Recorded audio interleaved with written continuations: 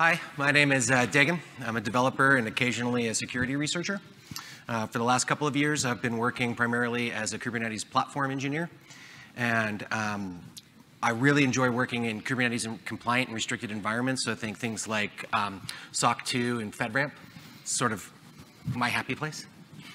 Um, my name is Will Kline. I'm also a platform slash security engineer. Um, you know, it's been really exciting for me to watch Kubernetes grow over the last couple of years. You know, I kind of started out doing uh, containers in kind of similar environments as what Dagan's described, and we were you know orchestrating them with SaltStack. I don't know if you guys remember SaltStack back in the day, but like you know just seeing that grow over time has been incredible. And um, I'm also kind of working with Dagan on different projects to help modernize deployments for uh, different customers that we work together with. Today we're going to be talking about third-party applications, um, why we love them, some of the dangers that they impose.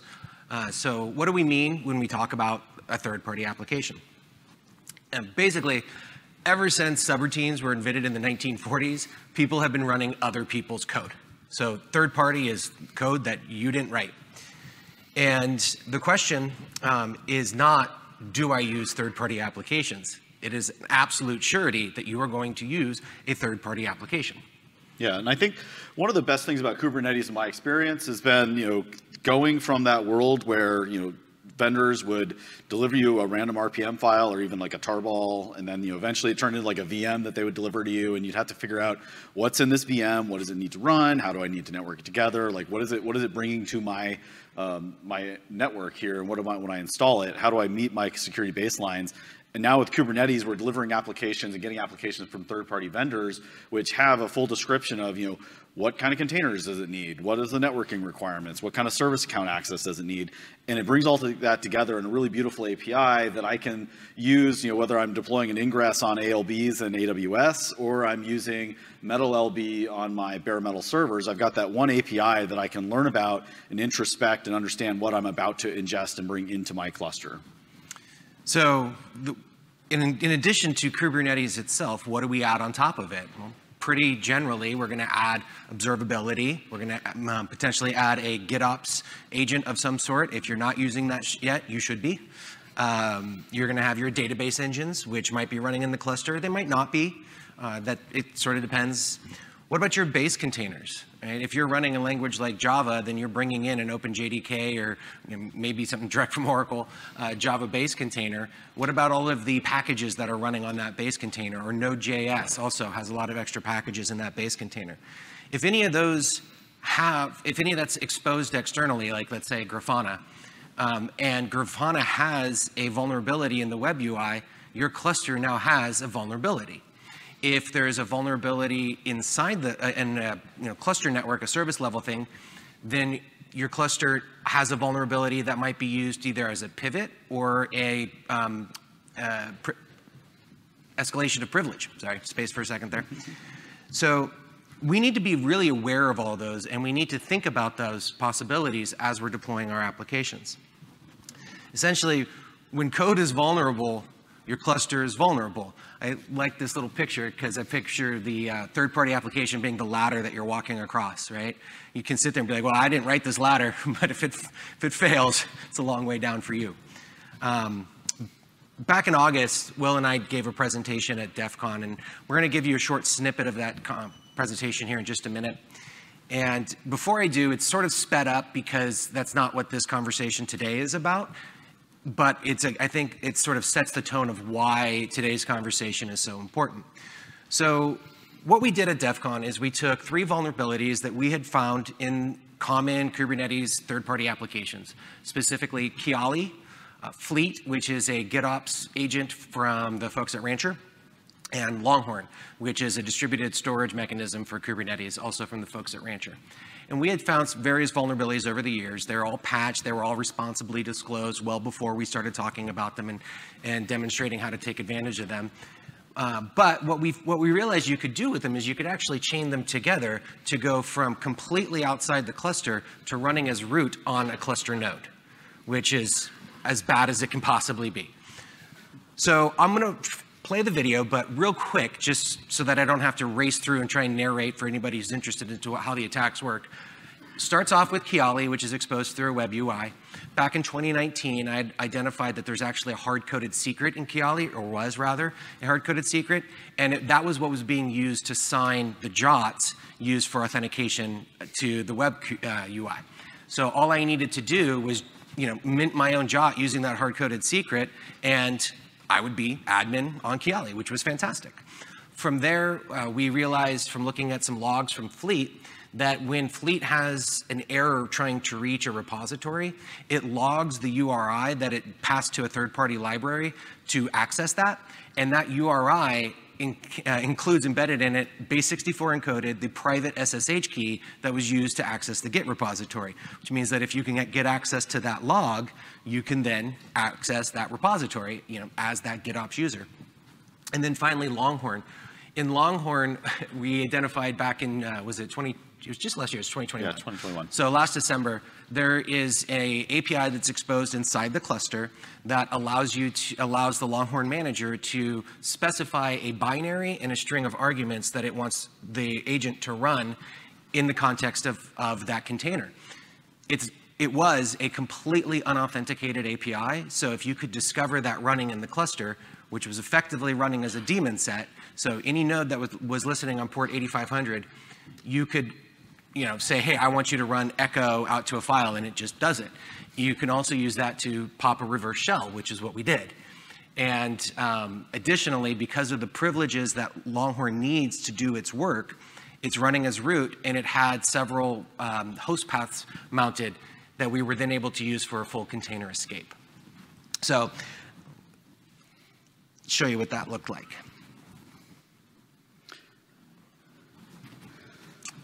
So again, it was a chain of three, of, uh, three different vulnerabilities. Here we're starting with Kiali, just using JOT.ios to mint our own um, token here. And then that token gets embedded in a cookie value. So I just use developer tools in Safari to drop it on in there. That's all it took for me to be admin in Kiali. One of the things that Kiali does is it allows you to access logs of running workloads, which is super uh, useful when you're trying to you know, diagnose what's going on within your service mesh. That includes logs from Fleet that may, may include a SSH private key and the URL to that private or to the repository that that private key can be used as. So here what we're going to do is we're going to set up my terminal to use that SSH key to log in uh, to Git and see what's in this repository.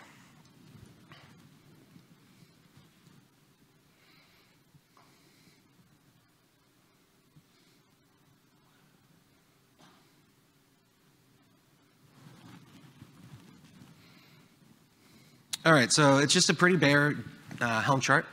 All I need to do is add a job that's going to give me uh, whatever my attack payload is and um, push that back up, and then GitOps is going to do GitOps. It's going to deploy my job. So I started listening on port 12345 for my reverse shell. And I went ahead and started that. And then this part, it fast forwarded quite a bit, took about a minute and a half for Fleet to do its magic, but eventually I was running and um, had my reverse shell.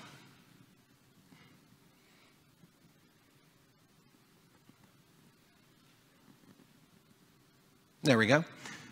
So now I'm running in my, in my payload, which has a little bit of tooling in it, and I'm just going to go ahead and use nmap in this uh, next segment and um, see what's running. And specifically, again, I was looking for port 8500, and it looks like there was two nodes that were running it. And I'm going to use the exploit that we developed called Rustler, and just say, you know, hey, go launch this attack payload on the remote uh, or on the uh, on the Longhorn pod, and connect back to me on port one two three uh, four six, I think. There we go. And now I'm connected and I'm running as root, and then a quick container escape. And I'm going to run crictl here in a second and show you that I basically have completely taken over the cluster.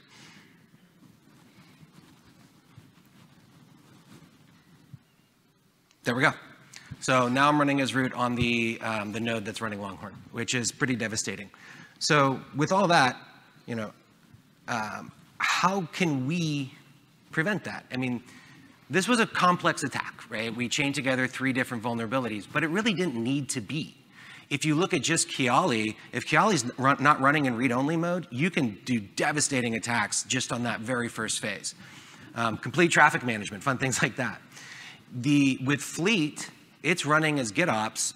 You know, there's probably not a lot of restrictions on what you're allowing your GitOps service account to install into your cluster. So I didn't need to bother pivoting to Longhorn. I could have just installed, you know, my own daemon set from the get-go.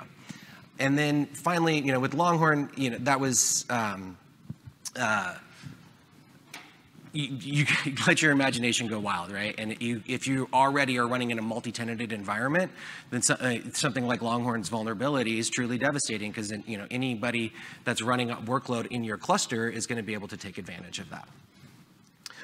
Let's see. One thing I do want to point out with these three also is these are not poorly written applications, right? So uh, SUSE and Red Hat know how to develop software, and they worked really well with us when we reached out to uh, to disclose the vulnerabilities. So this isn't about saying like, oh, there's bad software out there. It's more about saying almost all software at some point in time has a bug in it, whether it's you know from a reputable software um, shop like SUSE and Red Hat, or it's from some rando on GitHub. Yeah, so um, basically, at, while we were putting the, together, together that DEF CON talk, um, and immediately after this, these vulnerabilities were disclosed, and we're kind of reevaluating things, you know, Dave and I started having conversation about, you know, how did we end up getting here? Because, you know, obviously, third-party apps are necessary to be running your cluster. You know, I don't. Who among us wrote Kubernetes, right? like, it is all third-party software. Are here, the ones that wrote Kubernetes. yes, but like one person did not write it, and you know, we're all we're all using it together. So, kind of the question that we had is like, as an organization, how can we be looking at third-party applications as we bring them into our cluster, and how do we make sure that we can make find things that align to our internal development practices? So, um, at the job that we were working with together on this. Um, there were all these CI/CD requirements, SAST, DAST, all this stuff, fuzzing in place, um, a lot of merge request controls, and one of the questions we had was like, how can we make sure that we are looking at the whole application lifecycle? Because when it came to third-party applications, uh, our shop and I'm sure many, many other places were looking at that CVE scan and coming back like no CVEs, no problems, right? Um, so we started talking about like how do we how do we start looking at applications to really figure out what needs to be done to you know, put ourselves in a good position next time this happens. So this is an opinionated approach, but our approach starts with an initial review. Um, basically, the, the goal is to answer a pretty simple question. Do I want to commit to running this application in my cluster? So here's how we go about solving that or answering that particular question. The first thing I think is, is important to understand is this is not about a single point in time pretty much any application that's been around long enough is, that and used widely enough is at some point in time going to have a CVE. Eventually, it'll probably have a devastating CVE. So it's not about saying, what is the state of this application right now? I now make a permanent decision for all of time that this is safe and it can move forward. It's more about what does the project look like? How is it managed? How many contributors are there? What, what sort of thought are the contributors putting into the dependencies that they rely on or don't rely on? Let's see. Um, ah, yes, security policies as well. You know, is there a security policy? Is do they publish security advisories? Do they even publish CVEs? If you if an application is not using GitHub security advisories or CVEs, your scanners are not going to find anything because they're pulling from a vulnerability database that has no entries for that application. That doesn't mean the application has no vulnerabilities, just means they're not telling us about them. So it's really important that we look for applications that do, or projects that do, publish security advisories.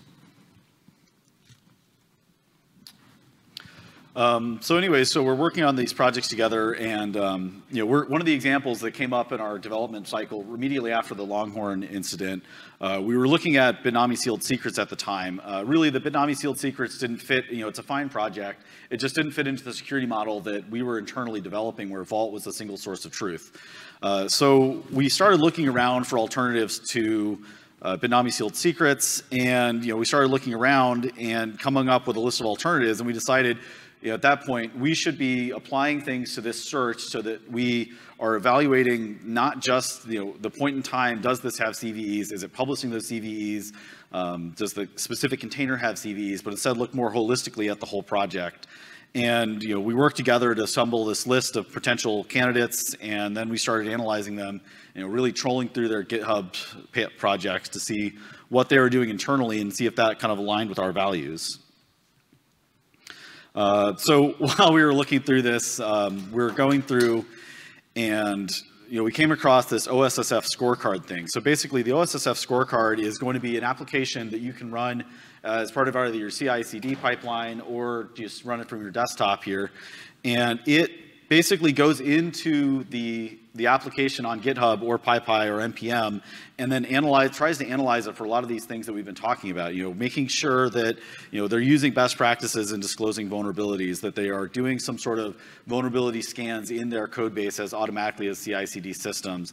Um, it's checking to make sure that they're they've got good merge hygiene in terms of you know who are people going through merge requests to merge into the master. So uh, from our perspective, these are all of the things that we were requiring the developers within our program to do before they could run their code in our production cluster. And it made sense to us to apply those same requirements to third-party applications that we as the platform maintainers were bringing into the platform. So we're going to, got a little quick, hopefully people can read this. So this is, can, can everyone read that? I think we got a review earlier. Yeah, so basically we have um, here's kind of the first half of the scorecard. We broke it up. So it's looking at whether the binary artifacts are being published.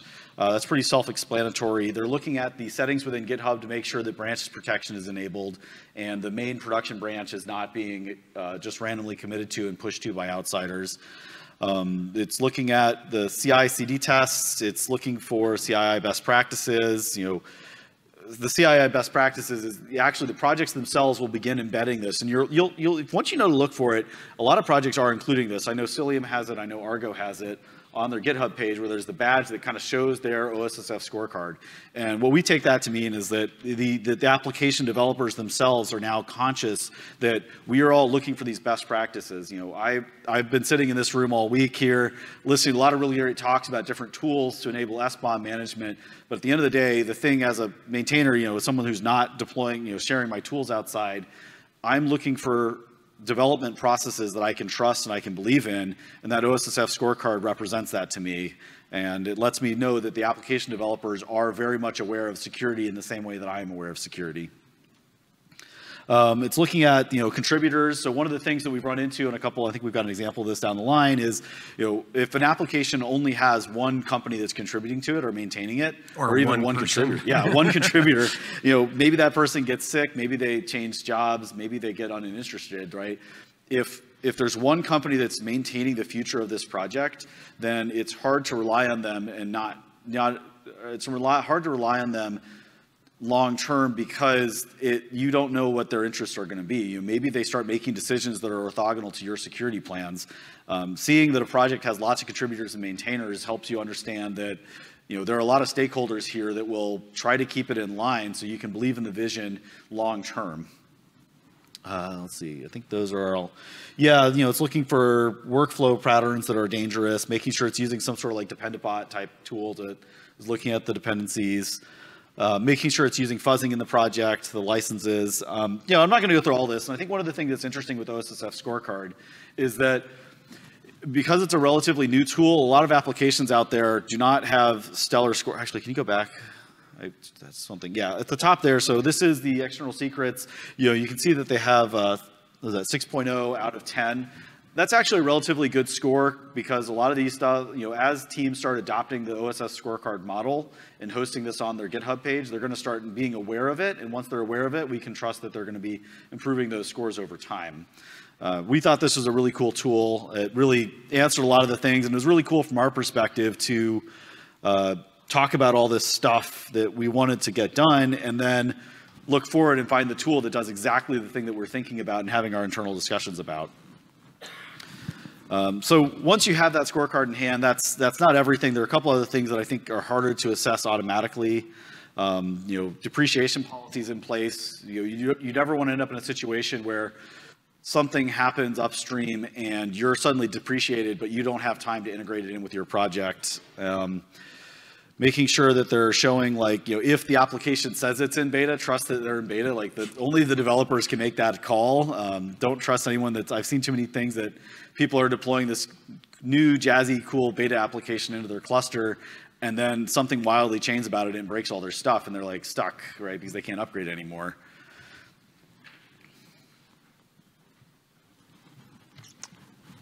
All right, so at this point, I'd venture to guess between open source security foundation scorecards and all the added research that Will had done on external secrets, that's far more work that has gone into a third-party application than most cluster administrators put in. Um, I, would love to be proven wrong on that. I'd love for the industry to move towards something that's that's much more diligent ab about the review process. So, are we done? Did we do, you know, did we high five? Do we install external secrets operator and call it a day? Well, not quite, because even when the application is going through all of these security reviews and whatnot, there's more to it than just that, right? Yeah. So um, you know, once we once we kind of settled on the external secrets operator as the way we wanted to go forward with this because we liked it as a project.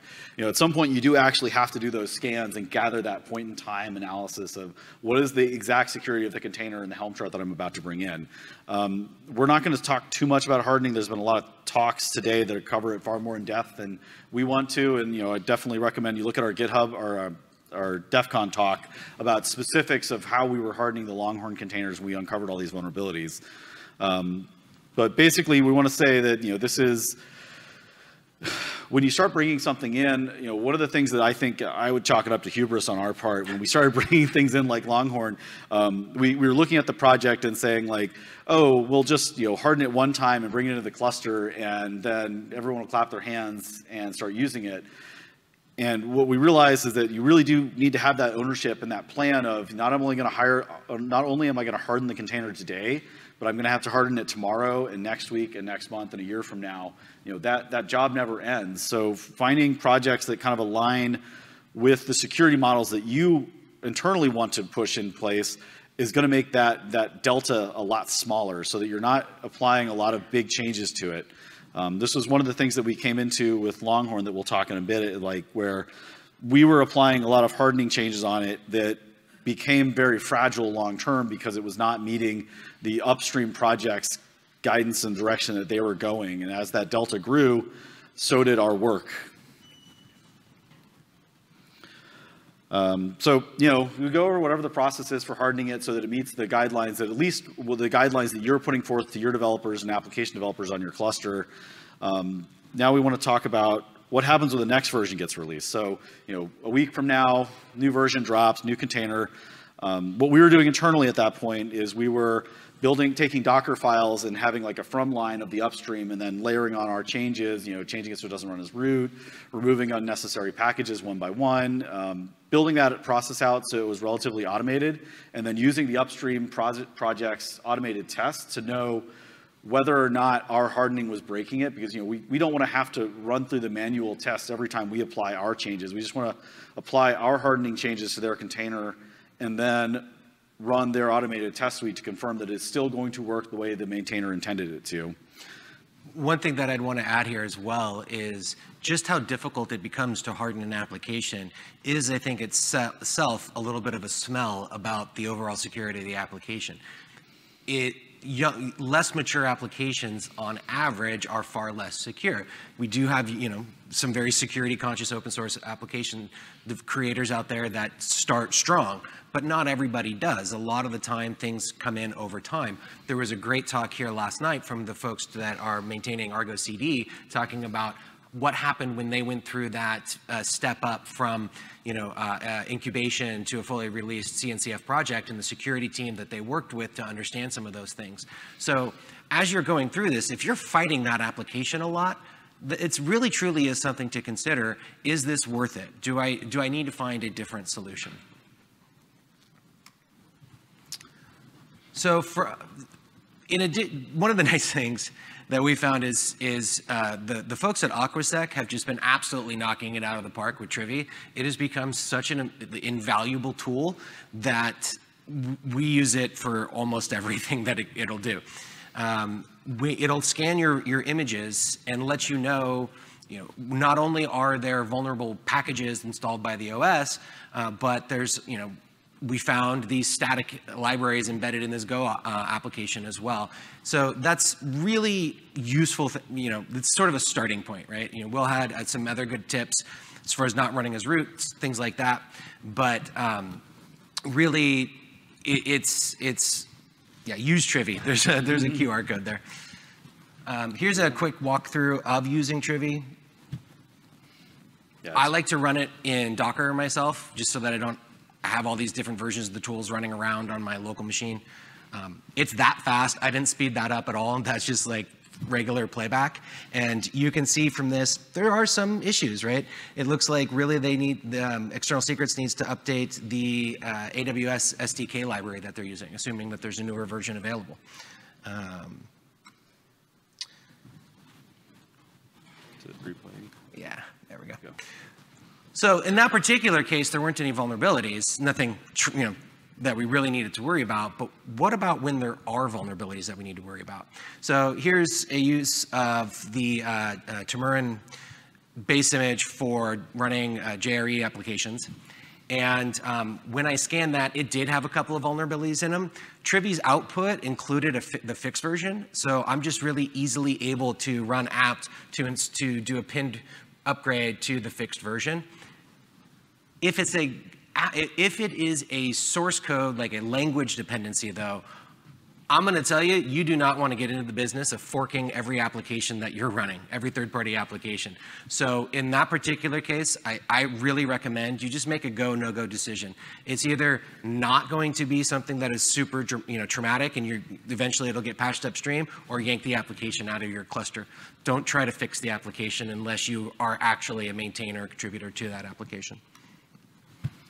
Yeah, so a lot of places that I work kind of have this this mentality where we do that scan at the beginning and no no CVEs, no problems. Um, meanwhile, the application itself is surrounded by this like nebulous group of the Helm chart that is like, you know, we run into this all the time, and you know, we're not here to like bash on a lot of companies. It's just stuff that we see where you know applications have I run into literal applications that have a flag in the Helm chart for run as non-root, and then try to call init containers that run as root and ignore the flag. And you're just like, come on, guys. Like, this is, you know, and especially when I'm supporting developers that are, you know, off, they're Golang or Java developers that really aren't Kubernetes centric yet. And I'm trying to provide the ops side of this DevOps. So I'm working with them. And I've got to tell them, like, hey, just because you found this Helm chart that deployed the thing you wanted that runs really well locally doesn't mean that we can use it on our platform. And the nice thing is, again, you know, Trivy does everything, right? Trivy will scan a Helm chart. Trivy will scan the uh, a, a workload running in a Kubernetes cluster, and it'll give you feedback what about the, the security posture of that application as it's deployed. So here's just doing the exact same thing as before, walking through what it takes to scan a Helm chart. I did speed this one up a little bit. It took about three or four seconds uh, once it started running.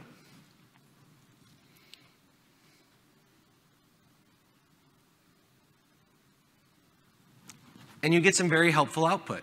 Again, it's it's a starting point. It's you have to ask yourself the question, okay, is it running as root because it needs to or is it running as root and it should not be? And in this case, it didn't need to be.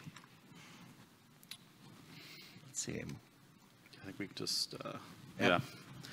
Um, so as you can see with the Trivy output in hand, you know, we now have the point in time snapshot of the application and running inside the container. That seems to have, you know, some things in it, but we're willing to accept some risk on this. You know, it's absolutely, uh, we never, it's never an all or nothing, right? You've got to balance the value something brings to your organization versus the potential risk of bringing it into your cluster. Um, now we have the Helm chart scan, you know, that we can decide again, is that something we want to do? Is it something we don't? Um, but, you know, now we can see exactly, you know, and this is, goes back to my thing about why Kubernetes is so powerful and how I sell it to all the security folks that are out there, like, you know, saying no to everything, right? Kubernetes gives us the opportunity to run standardized tools like this to understand exactly how an application is going to be deployed into our environment in a way that we've never really had that sort of visibility for like VMs and things like that coming into our environment. All right, so we've decided that we like external secret operator based on the Helm charts, on the containers, development practices, all that. Um, we felt really good about it. So kind of the next step is forking the upstream chart, and Dagan's going to talk a little bit about that process and why we do that. Yeah, so Um, I do, as much as I say don't fork the source code and build it yourself, I, my experience, there are exceptions to this, but generally you're going to end up having to fork the upstream Helm chart. Helm charts tend to be community developed. They tend to be designed in a way that just simply running Helm install pretty much guarantees that it's going to work. And then there's usually very helpful configurations that you can add on that will ultimately harden the application. But in a secure and hardened environment, the places that we work, you have to be secure by default. You need to have every one of those security constraints enabled from the beginning so that a Helm install gives you the most secure option, and you actually have to take action in order to in order to make it less secure in a development environment, for example. So what I find is you can use their Helm chart as a starting point, but you tend to end up having to run it yourself or, or write the Helm chart yourself. All right, so once you've got the, a, a hardened image, you have a hardened or rewritten Helm chart, what do you do? Well, that's the easy part. All you have to do is run a Helm install or go through your GitOps uh, process, whatever, whatever is your organization's methodology here. Um, we, again, we definitely want to make sure that our clusters themselves are hardened and that our practices meet those or work alongside those hardening requirements. So for example, we don't run our Kubernetes clusters with the API exposed to the public internet which means that if a developer is working remotely, unless they're coming in through a VPN, they're not going to be able to just run, you know, K8s apply or, or sorry, kubectl apply or Helm install, and nor should they in most environments. So that means that you need to have a GitOps workflow. Um, and then you want to also continue to monitor those applications. You should know what the meaningful metrics are, and you should have alerting thresholds that let you know if an application has gone down. Because remember, uh, availability is a security control, right? A denial of service is a threat. So you want to make sure that you're aware of when that application goes down. All right. Um, and then you want to constantly monitor as it sits there deployed, and you want to reassess that application on a regular basis.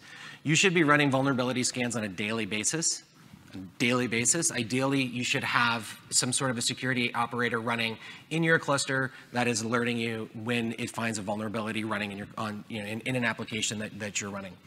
You need to be able to patch critical vulnerabilities. Typically, less than seven days is what is what the compliance frameworks will tell you. Um, depending on what it is, sometimes you get that phone call of like, you got to go now. We all remember, you know, uh, uh, Log4Shell and Heartbleed, where everything just hit the fan and everybody had a terrible Christmas. Um, and then also, you really need good intra-organization communication. If, if you're using something like a base container, where you, your team is like, oh, hey, we'll go ahead and we'll harden this base container for Java, and then everybody else can use it, and you, you, know, you can really scale out our efforts there. You need to make sure that those teams have an understanding of, hey, we've updated this image. You now need to redeploy, rebuild and redeploy your application that's built on top of that because the way containerization works, until they rebuild, it's still not patched on their image. All right, so here's the questions that we want you to answer at the end of the day, is, you know, on a regular basis. Is the project still actively maintained? We were working with uh, uh, Kiam mm-hmm. to get uh, uh AWS credentials into applications, and the maintainers had pivoted away from it because they were like, oh, the OIDC provider for EKS works wonders. We weren't running EKS, so we couldn't use it. So it was a deprecated project, but there was nothing we can do about it. So is that project still being actively maintained? If there's any security incidents have happened, how were they addressed? Was there good communication from the maintainers? Was there a patch made readily available? Was there security advisories? You know, all of those things internally, do the current owners still want to own it? If they've pivoted onto Golang from Java, then who's going to take over that, that JRE base image that everybody else is relying on? Overall, is it meeting your organization's needs?